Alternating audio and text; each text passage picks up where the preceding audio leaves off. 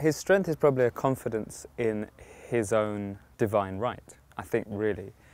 It's also his weakness because he constantly questions whether he deserves to be in the position that he's in.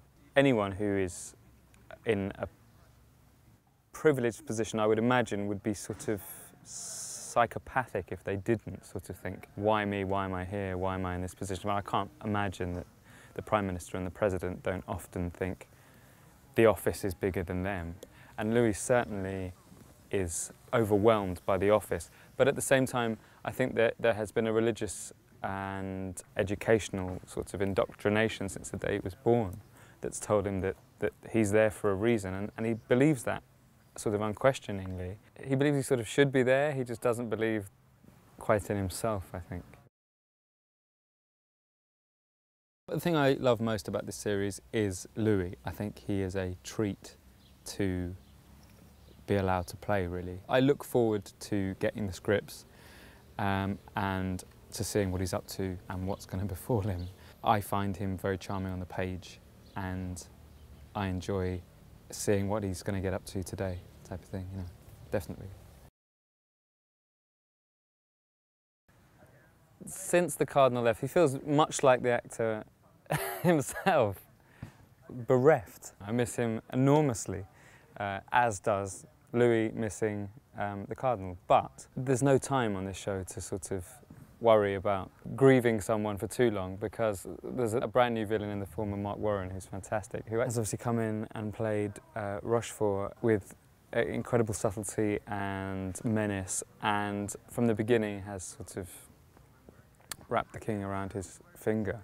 So immediately there's so much sort of intrigue and power play with the Spanish and with all the individual occurrences that happen episode to episode that Louis' time to, to grieve has been sort of suppressed really, if anything. So yes, missing the Cardinal enormously, but having to get on with the day-to-day -day decisions, which is also what the actors do.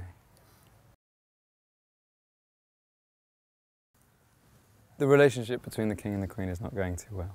I mean, we're still friends.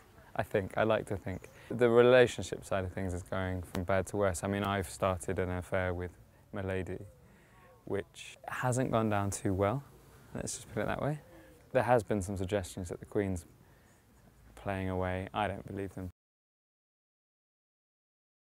I think it's really sad uh, what's happened with me and Treville this se series because if ever I've needed sort of sound uh, advice, um, it's now. I understand for his personal and professional reasons he didn't want to be my counsellor, but I think he did genuinely let me down a little bit with that because he really should know that there is no one around to sort of support me and that I need support. So understandably I'm hurt, Louis hurt, and again, Treville's a father figure, um, and it's a betrayal. I can't imagine, though, that we're going to get to the end of the series without him sort of proving his worth, surely, because he's clearly a hero.